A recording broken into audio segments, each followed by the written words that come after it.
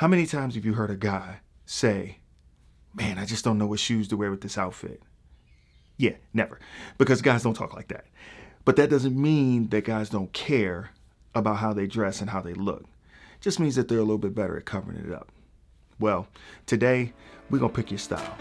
We're to figure this thing out.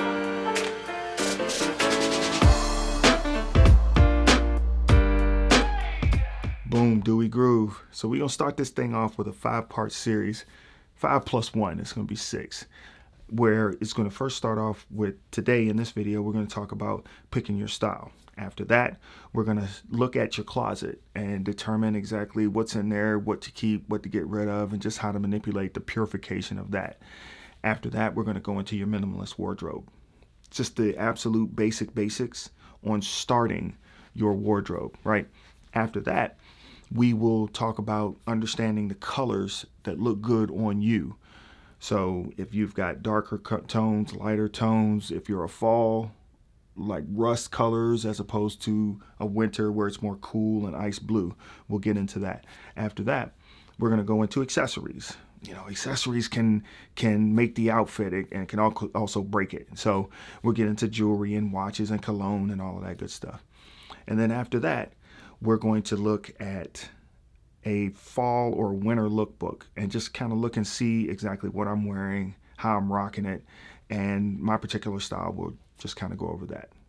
All right, so let's get into the 10 style types that are out there. First, we're going to start off with the dandy. Now, the dandy is someone who is razor sharp in their appearance. There's never a hair out of place. Everything is always crisp, clean, perfectly coiffed, perfectly groomed, and all of that. This is actually a, a, a pretty tough trait or personality style type to pull off because it takes a lot of effort. I mean, you you are impeccable with everything that you're working with. Um, this is something that most people it's tough for them to attain, but you can. So now the second one, let's go into that rugged man.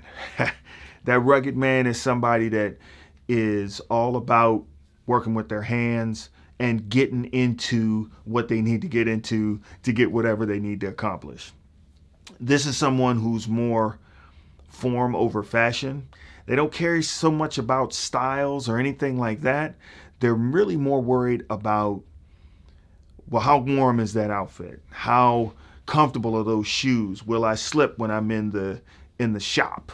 So the rugged man is somebody that is very utilitarian. They are very salt of the earth, construction worker, woodworker type of person that, you know, great. All right, next up is the confidence man. Now, the confidence man, it's not even about the clothes that they're wearing, it's about them exuding just this absolute charisma of, look, I don't care what I have on, I look good, or I don't care what I have on, I'm confident in what I am. This is tough to pull off because you have to have a fair amount of self esteem. But if you have that self esteem, it is going to shine. So it really doesn't matter what you wear because it's going to come through. Now, these types of people are very close to trendsetters. And it's very easy for them to set trends because they're going to be kind of funky, they're going to be kind of out there, and they're going to be kind of different from everybody else. Next up is going to be the classic. Now, the classic, which warms my heart a little bit, is the guy that you can take a picture of them today and five, seven years from now, what they have on, what they're wearing, how they're wearing it is still going to look good. Because the classic man is somebody that's not going to take a whole bunch of risks by great big loud patterns and and and bold colors and all that stuff. They're going to have colors they're going to have patterns but they're going to be a lot more muted because the things that they're going to be putting on are going to be able to stand the test of time. It's going to be maybe a simple charcoal suit with a white shirt and maybe a gray tie or maybe a red tie maybe you get that pop of color with the tie or maybe the tie bar or maybe the socks but the classic man is going to take chances is just not going to be very bold and big and loud and in your face. They're going to be subtle, but they're going to be effective. But the most important thing about a classic man is they're going to look good in what they are wearing multiple years from now. Next up is the trendy. Now, the trendy is somebody that's going to be very much steeped in what's hot right now, right? They're going to be into things like back a couple of years ago the stripes on the on the pants. They're going to be into leopard print. They're going to be the ones that are going to be in things that are going to be bold they're going to be out there and they're going to be they're going to be something that a lot of people are not going to be confident enough to be able to wear. But the trendy they're going to be right there. That's going to be home. Next up after that is going to be the trendsetter, which kind of goes hand in hand with the trendy. But the difference is, is that the trendsetter is going to be wearing the same things, but they're going to be the first one wearing those same things. And they're going to have to have a certain level of popularity for that trend to catch on because they're going to be the ones blazing the trail, right? So you think of your your music artists, your your Jay-Z's, your Kanye West, anybody that's in the prominent figure or in the prominent spotlight, they're going to be somebody that's going to be a trendsetter and they're going to be the ones blazing the trail. All right, next up is going to be your streetwear. Your streetwear style is going to be somebody that's going to be probably a little little bit younger and somebody who is well in the streets in the sense that they're going to be dealing with a lot of other younger guys out there that are going to be wearing bigger, bolder things that are for the youth, right? So it's kind of a trendy thing, but it's a trendy thing towards comfortability and a casualness that comes from it.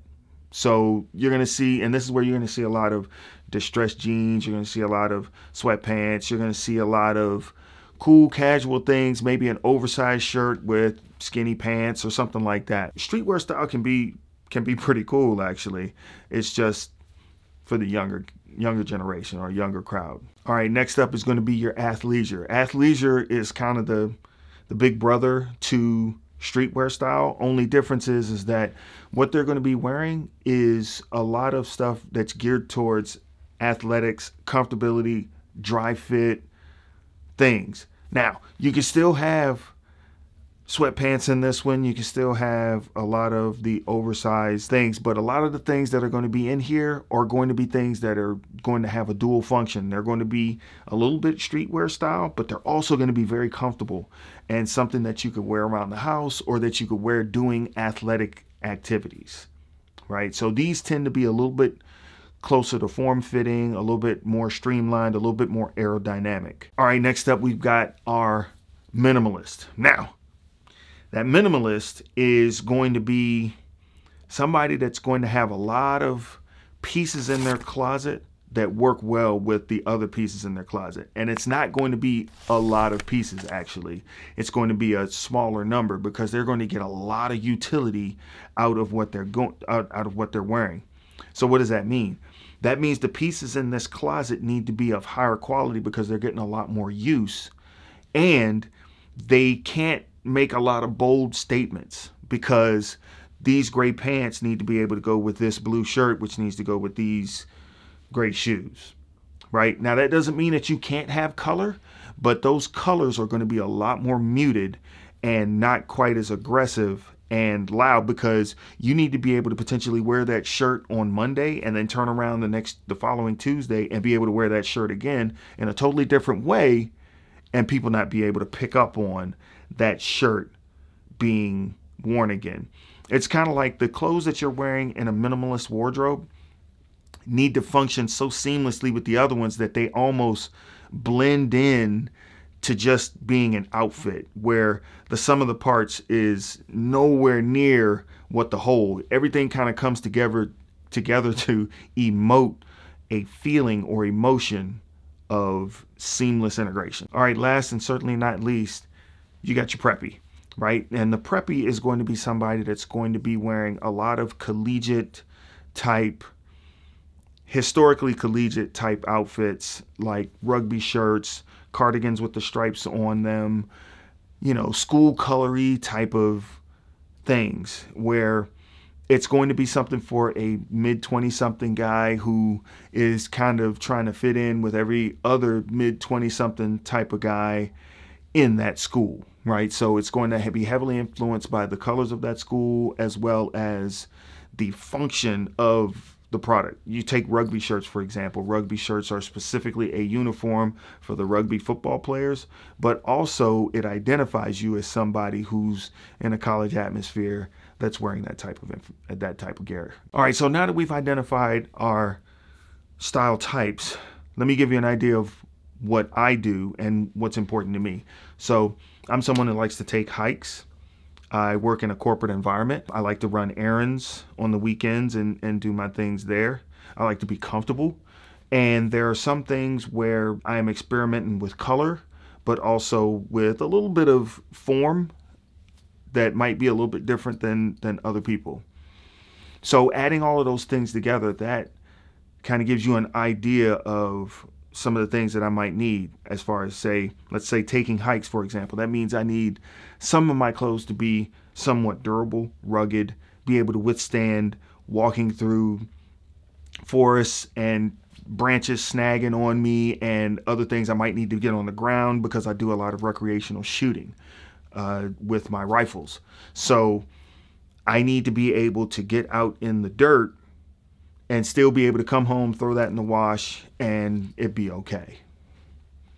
Working around in a corporate environment also means that I need some things that are a little bit more sophisticated. If I'm talking to a C level executive, I need to be put together enough to where he's looking at me and my clothes don't count against me. I want them to work for me. I want them to see me as somebody that's professional. The, the the last thing is I like to run errands as well, but I like to be comfortable while I'm running those errands. But also while I'm running those errands, I want to look good. So there are some things in there. I got some J's in there, Jordans for those who are uninitiated, and with those, they need to be able to to look good with what I have on, be clean. You got to keep those shoes clean. You got to keep those clothes clean, and with all of that, still look fabulous. So for me, my style choice is I'm a classic confidence man. Those are my main things with a little bit of rugged and athleisure. I do a little bit of woodworking and I also get out in the in the field and take hikes and shoot and things like that. And I also run a lot of errands. So while I'm picking up things to go hike and go grocery shopping and do all of that stuff. So I like to be comfortable while I do that. So one of the first things that we're going to do when we're putting our outfits and closets together is you need to define first your four or five baseline outfits. Just absolute no brainer outfits where you can walk in there, pick this, pick this, pick this, put it on, walk out the door, and you feel like a million bucks. You can put them together without thinking. Once you define those go to outfits, then you can radiate other outfits from there. I'll give you an example. There are some things that I have. Uh, there's an outfit that I have that is more of a gray pair of jeans with a gray sweater, white shirt underneath, and whatever accessories, whatever watch I'm wearing with some gray Chelsea boots. Now, to radiate from that, I can change the Chelsea boots from gray to brown, change the top from to a blue top to a blue sweater, and then maybe put on a tie that ties that those gray pants and that blue sweater together and now I have a completely different outfit and all I did was change the shoes and change the top so but the first thing you need to do is you need to put those four or five outfits together that just are nails they are money you can go from there. The next thing that we need to do is we need to identify the colors that work well with your skin tone. And we're definitely going to get into that later. But right now, a brief primer is, is that if you've got a warm color tone mid-tone in your skin, then that means that when you put on colors like rust and browns and tans, they're going to look incredible on you. But on the flip side of that, cool, crisp colors like an ice blue are going to make you look sick. They're going to wash you out a little bit. But here's the thing, and here's the, the beauty to that. You can still wear ice blue it just can't be the dominant color that's closest to your face. I'll give you an example. If I wear an ice blue sweater, if I was to change this sweater to an ice blue sweater and then put on some rust colored pants, it's a good look, but it's going to make me look sick because that color up against my face is going to wash me out. But if I reverse them and I wear a brown top with potentially ice blue pants, same color combination, but because the pants are so far away from my face and my hands, and chances are my pants are going to, excuse me, my shoes are going to be covering up anything down below my waist, it's a good look for me because the brown is going to integrate well with my skin tones. That makes sense. But again, we'll get into that and we'll get into your color options and we'll break out the color wheel and I'll show you exactly how to use that and, and work from there. Now, before we get into the last one, we're talking about body type. Hey, if you love this content, go ahead and hit that like button. Man, if you really feeling it, then go ahead and subscribe so that I can bring this to you on a weekly basis. We're going to be dropping a lot of videos. They're going to be coming rapid fire, and then we'll probably level out after that. But go ahead and support your boy. Anyway, so body type. Body type is probably the, the most important thing. Just because slim fit jeans look good on that guy over there doesn't mean they look good going to look good on you. If you're a bigger guy, you're going to need to wear pants that are big in the thigh and potentially maybe a straight fit down to your shoes because that's going to help keep your proportion correct. Whereas if you're a thinner guy, you can get away with slimmer fit, skinnier jeans, if you will. For me, I like to have my jeans slim and tapered, not skinny, but slim and tapered. Just to give you my dimensions, I'm 6'4", about 230 pounds. So I'm right on the edge of being a big guy, not quite yet, but I can still get away with, because of my silhouette, I can still get away with some slim fit stuff. Um, but some things don't look right on me slim fit, so I have to get them a little bit more relaxed, if you will. And last but not least, hey, stay true to your style. You know what I'm saying? Whatever you put on, you got to own it. And that's what ultimately, no matter what you put on, I mean, everything that I've said for the last 10, 15 minutes, you know, scrape it off. At the end of the day, you need to feel confident in what you're putting on. Now, I can give you some guidance and, you know, I'll take you through the journey that I took. But at the end of the day, this is for you. This is this is all on you. So be true to your style, be comfortable in what you're putting on. Let's go and rock this thing.